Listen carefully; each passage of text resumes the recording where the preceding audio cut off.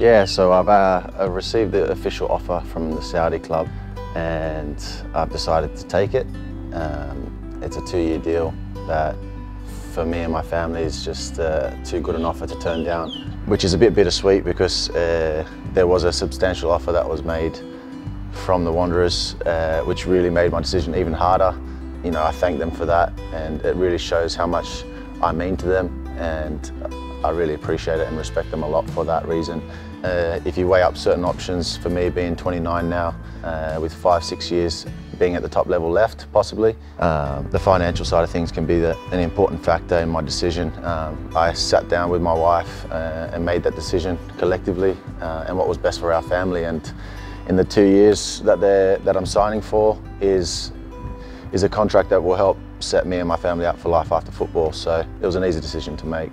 Um, to say goodbye to a lot of those boys that I've become lifelong friends with is the hardest thing I think for me.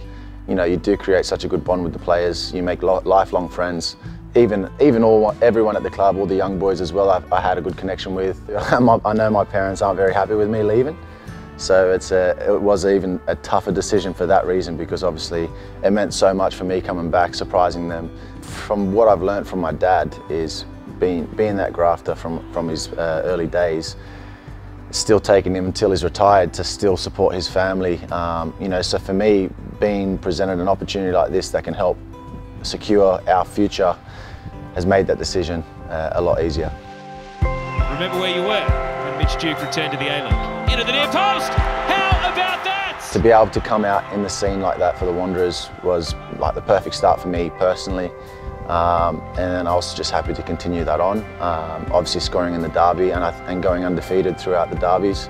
I think I've played four with the Wanderers and not been beaten, so I'll be going away pretty happy with that. Um, and then obviously the armband was the biggest thing and probably the most proudest moment in my club football career.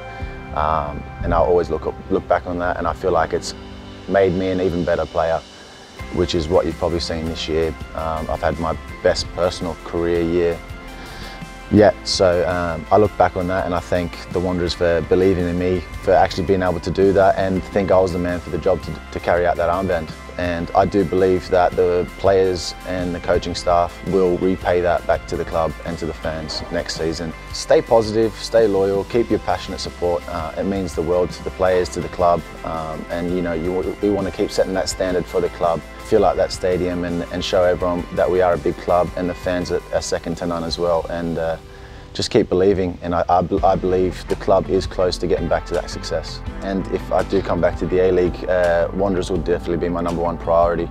Um, if things work out that way, mate, there's, there's only one club I'd love to come back to.